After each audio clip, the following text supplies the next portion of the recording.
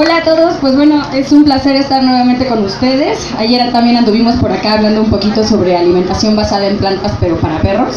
Y bueno, el día de hoy vamos a platicar un poco de esos mitos y verdades de todo lo que se dice de la alimentación basada en plantas y del veganismo. Entonces, bueno, quiero empezar por el mito más, eh, uno de los más platicados, que es que, no manches, todos los veganos son flacos y escuálidos. Entonces, bueno, vamos a empezar por desmitificar esto. Se tiende a pensar que los veganos tienden a tener una masa corporal mucho menor porque se alimentan con una cantidad de calorías pues mucho menos eh, eh, amplia que si tuvieran una alimentación carnívora. Sin embargo, ser vegano o alimentarse con, una, eh, pues, con plantas no quiere decir que vas a ser flaco inmediatamente, porque pues al final depende mucho de una alimentación saludable y de las combinaciones que estamos haciendo de macronutrientes, es decir, que comemos de grasa, que comemos de proteínas y que comemos de carbohidratos. Entonces no es como que te haces vegano y estás a las dos semanas ya eres súper flaco, ¿no? Eh, por otro lado, está esta parte de que hay muchos deportistas veganos y eso quiere decir que es posible crecer la musculatura cuando se tiene una alimentación basada en plantas.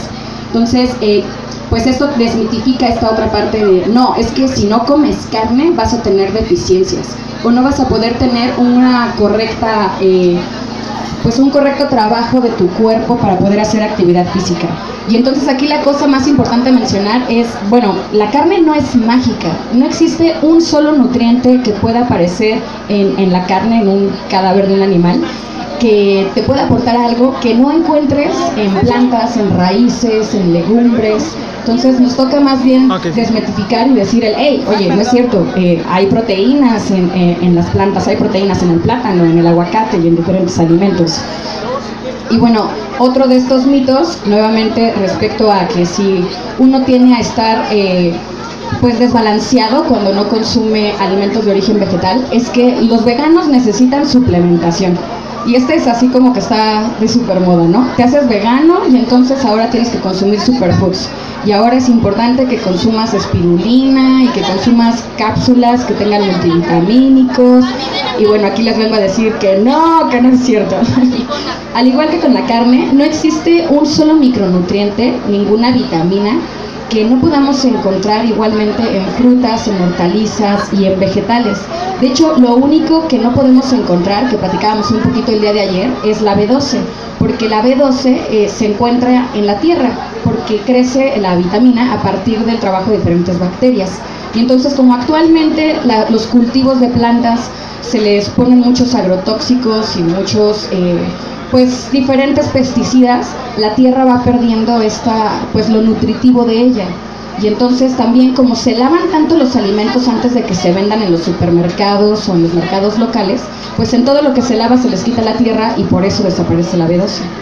Entonces, lo único que habríamos que suplementar, pues es justamente una capsulita diaria o puede ser un shot eh, semanal o mensual de B12. Pero esto no es solo para la gente que come una alimentación basada en plantas. Esto también aplica para cualquier persona, para un omnívoro, para un carnívoro, porque al final eh, la gente que sí consume todavía carne está teniendo esta suplementación de B12 a partir de la vitamina B12 que se inyecta sintéticamente a las vacas o a los pollos o a diferentes animales. Esto quiere decir que actualmente consumir B12 sí o sí significa consumirla de forma sintética, al menos que podamos acceder siempre a alimentos orgánicos y cosechados en una tierra que no ha tenido problema de pesticidas anteriormente. Entonces, bueno, se dice mucho también que es que es muy difícil encontrar alimentos de todo el grupo B en una alimentación basada en plantas. Y bueno, esto es un mito nuevamente, porque eh, las vitaminas del grupo B se pueden encontrar también en la soya, pero no solo en la soya, sino en los gérmenes o en los germinados. Los gérmenes son, por ejemplo, eh, el germen de trigo, no sé si lo ubican, es como la cascarita, no es precisamente el germinado, que esa es la hojita que es la diferencia, ¿no? Germinado con hojita, germen es parte de la cascarita, es parte del grano. Y en, ambas partes de estos cereales y de estas legumbres encontramos eh, diferentes vitaminas del grupo B, B6, B3, etc. Entonces tampoco es como que no, nos vamos a descompensar, no, no es cierto. y bueno, desmitificar también esta parte de la soya, ¿no? Que ya platicábamos un poquito el día de ayer, porque actualmente parece que cada vez que decimos soya se prende el interruptor rojo de la alerta de no, pero es que la soya es transgénica y que la soya te va a matar y es del diablo. Y entonces, pues no, no es cierto. Ayer ya les comentaba un poco que la soya transgénica solamente se produce para los alimentos que son para el ganado. Esto quiere decir que la única forma de estar consumiendo el derivado de un transgénico es si se consume eh, vaca, o se, bueno, se consume res, o se consume pollo, se consume diferente tipo de, ganado. Entonces, eh, si están preocupados por consumir soya transgénica, pues simplemente lleven una alimentación basada en plantas y así no la van a comer. ¿Por qué? Porque al menos en México sí está reglamentada eh, el consumo y la siembra de la, de la soya. Entonces, en nuestro país, toda la soya, si no es orgánica, sí está sembrado de una forma normal. Quiere decir que tiene pesticidas, pero pesticidas que no son transgénicos. Entonces, eso es como un luz verde, semáforo en verde para consumir soya. Y bueno, vuelvo a esta parte ahora por donde empezaba del mito de que es que si eres vegano o si tienes una alimentación basada en plantas, no vas a tener un desarrollo muscular, ¿no? Y siempre vas a estar flaco y escuálido. Y entonces, pues les vengo a contar que tampoco es cierto, ¿no? Existen medallistas olímpicos, nadadores, que son veganos, existe diferentes jugadores de americano, incluso la alimentación que lleva Tom Brady eh, es una alimentación basada en plantas. Eh, el hombre más fuerte del mundo, bueno, ese estuvo muy sonado en Facebook, ¿no? Es un alemán que es vegano, que ganó la medalla de oro el año antepasado. Y pues es un hombre que si tú ves en las fotos, o sea, pues músculo no le falta, ¿no? Al contrario, yo creo que le sobra, es un hombre así súper pinchado. y pues así hay muchos. Ahorita está también muy en boga practicar el ciclismo siendo vegano.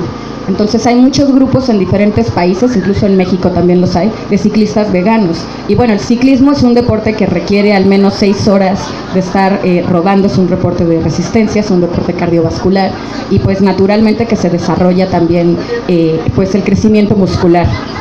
Entonces, bueno, pues esta parte de que es imposible el desarrollo muscular cuando se tiene una alimentación basada en plantas, pues tampoco es cierto. ¿Por qué?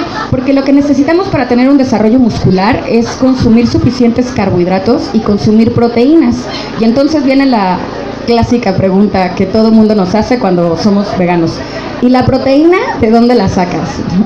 Bueno, pues la proteína está en absolutamente todo, así como lo oyen. La proteína está en la sandía, la proteína está en el limón, la proteína está en, cualquier alimento que se pueda cultivar.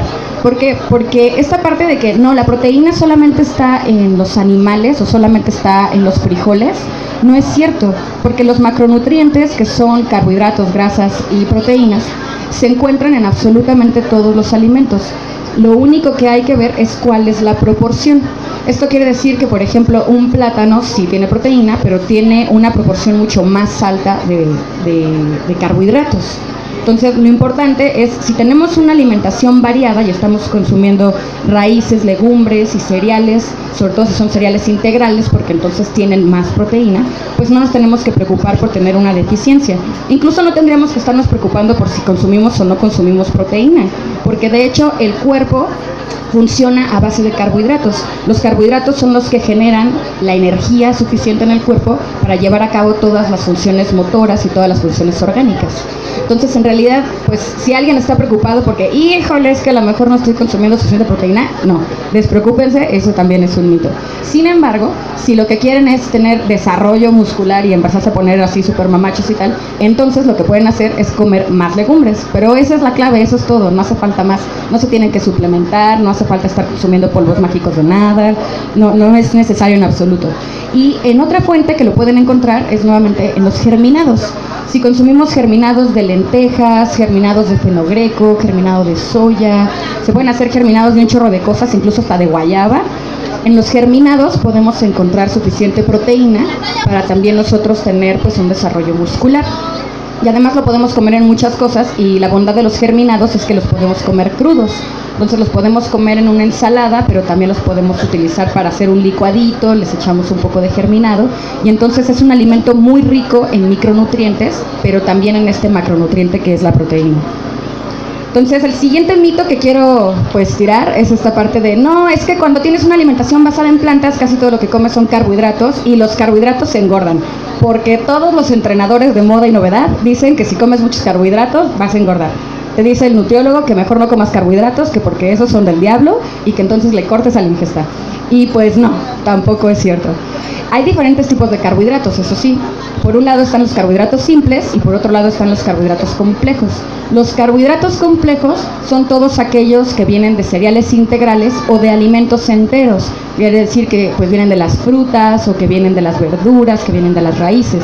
Los carbohidratos simples, esos son los que se hacen daño, que son los carbohidratos refinados, como la harina blanca o el arroz blanco o la avena blanca o bueno, cualquier otro tipo de cereal que sea blanco, porque el problema del refinamiento es que se le quita justamente el germen, que se le quita eh, la fibra para que justo pues, quede blanco, pero aparte se blanquea, o sea, sí lleva un procesamiento químico para que lo veamos blanco ya empaquetado. Y entonces, aparte de que tienen un chorro de eh, contradicciones para la salud, como no tienen fibra, el cuerpo no tiene la capacidad suficiente para poder digerirlo y entonces los almacenamos y entonces ahí sí viene la cosa de si comes muchos carbohidratos, pues vas a engordar. Pero solamente sucede si consumen carbohidratos simples. O sea, básicamente ustedes podrían comer todos los días, no sé, una media taza de avena en la mañana y luego ocho tortillas en la tarde y luego sumirse unas tostadas y les puedo asegurar que no van a subir ni un gramo. ¿Por qué? Porque estos son alimentos enteros con suficiente fibra y entonces su cuerpo no va a tener la descompensación de estar haciendo digestión muchísimo tiempo y almacenando los carbohidratos. Otro de los mitos que quiero también platicar es lo de las harinas, porque nos dicen, no, es que cuando eres vegano, pues empiezas a comer que si el falafel y empiezas a hacerte pastelitos y brownies con un buen de harinitas y entonces ah, te las vas a subir de peso. Y no, no es cierto. El asunto de las harinas, primero hay que decir, bueno, ¿qué es una harina? Porque la gente tiende a pensar en harina y inmediatamente piensa en harina de trigo. Y luego, luego pone en su cabeza el pastel lleno de betún y no, por Dios, vamos a engordar. y no, las harinas básicamente es cualquier molienda de cualquier grano. Por eso es que puede haber harina no solo de trigo, sino de garbanzo, harina de frijol, harina de, ay, no sé, no sé, de coco, harina de almendras, y pues es tan fácil hacer las harinas como moler el alimento. De hecho, pues en algunos lugares podemos encontrar que es muy cara, por ejemplo, la harina de almendras. Y en realidad es muy fácil hacerla porque solo hace falta tener una licuadora, eso sí, potente, diría yo como de unos 300 watts, porque si no se la van a echar, ya me pasó dos veces. Entonces, una licuadora potente en la cual echemos nuestras almendritas, lo molemos y eso que sale ya es harina, es así de simple. No se tienen que poner a que si irla a comprar a una tienda naturista así súper cara y de moda, no. Y eso podemos hacer también con los garbanzos, por ejemplo, o con los frijoles y utilizarlos para hacer pastelitos o para hacer alguna otra cosa. Entonces, bueno, el punto es que ustedes pueden hacer harina de cualquier cosa y este tipo de harinas, como justamente son de un alimento completo y que tiene fibra, pues no los van a engordar. Por el contrario, los invito a que hagan el experimento de hacer brownies con harina de frijol o de hacer brownies con harina de garbanzo. Les aseguro que no vas a ver ni a frijol ni a garbanzo porque le van a poner cocoa y lo pueden endulzar con, no sé, stevia o con miel de maple o lo que más les guste, con piloncillo y vas a ver súper rico y van a ser aparte brownies proteicos. No hace falta que se vayan a comprar a la tienda más cara del mundo estas barritas de moda y novedad nuevamente. lo pueden hacer ustedes mismos en casa. Y este tipo de harinas pues les van a ayudar a que tengan una mejor, eh, pues no solo el desarrollo muscular, sino a que tengan un mejor desempeño para la actividad física.